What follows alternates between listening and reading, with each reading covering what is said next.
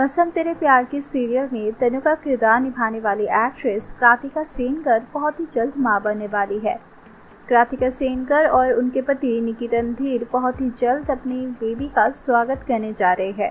साल 2021 के नवंबर के महीने में क्रातिका ने एक इंस्टाग्राम पोस्ट के ज़रिए अपनी प्रेग्नेंट होने की अनाउंसमेंट की थी। उन्होंने उनके और अपने पति के साथ एक प्यारी सी तस्वीर शेयर की थी और साथ ही में उन्होंने कैप्शन में लिखा था धीर जूनियर कमिंग दिस 2022 इसी बीच कार्तिका ने अपनी एक तस्वीर शेयर की है, जिसमें आप देख सकते हैं कि कार्तिका अपनी बेबी पम्प को फ्लॉन्ट करती हुई नज़र आ रही है।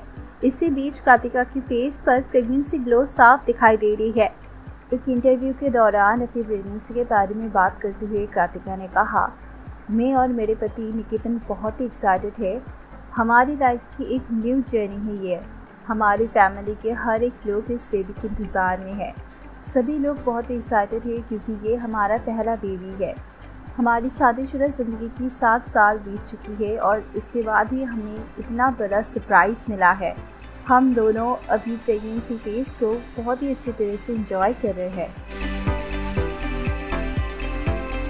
Thanks for watching this video television दुनिया की छोटी बड़ी न्यूज़ के लिए हमारा चैनल सब्सक्राइब करना मत भूलिए। अगर आपको हमारा वीडियो पसंद आए तो कमेंट लाइक ज़रूर करना।